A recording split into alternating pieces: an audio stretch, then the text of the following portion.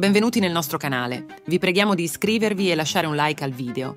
Guardatelo tutto perché è ricco di contenuti fondamentali. Per noi è importante. Nel labirinto della televisione italiana, Pier Silvio Berlusconi si stagliava come un moderno minotauro.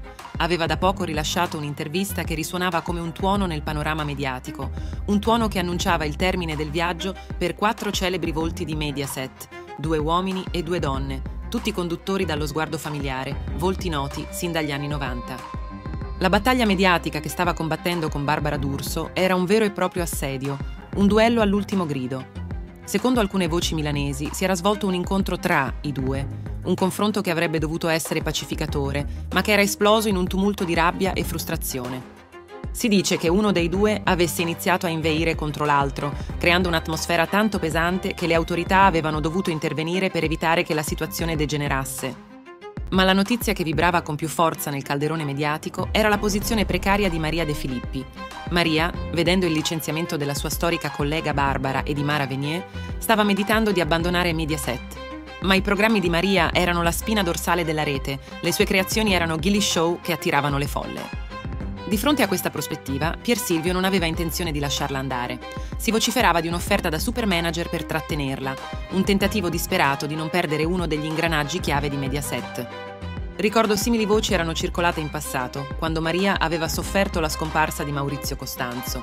In quel periodo oscuro, la conduttrice aveva considerato di prendersi una pausa o di abbandonare del tutto la conduzione dei suoi programmi. Tutto questo turbinio di cambiamenti aveva avuto origine con la morte del padre di Pier Silvio.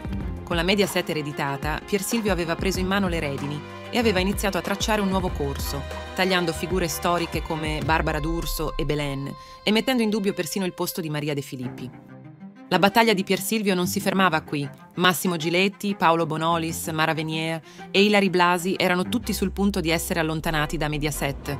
Anche Ilari temeva di finire come Barbara D'Urso, la conduzione della talpa sembrava essere la prossima sfida per la compagna di Pier Silvio, Silvia Toffanin, mentre Enrico Papi sembrava destinato a riprendere le redini della pupa e il secchione.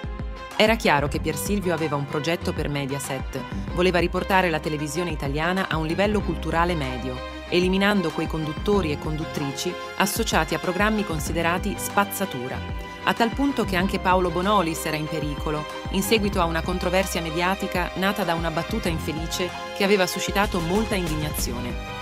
Cosa riserva il futuro per Mediaset sotto la guida di Pier Silvio? Le carte sono ancora da scoprire, ma una cosa è certa, i cambiamenti sono in arrivo e noi vi terremo aggiornati con le ultime notizie. Non dimenticate di iscrivervi e lasciare un like al video, non vi costerà nulla, ma per noi è importante, ve ne siamo grati, alla prossima.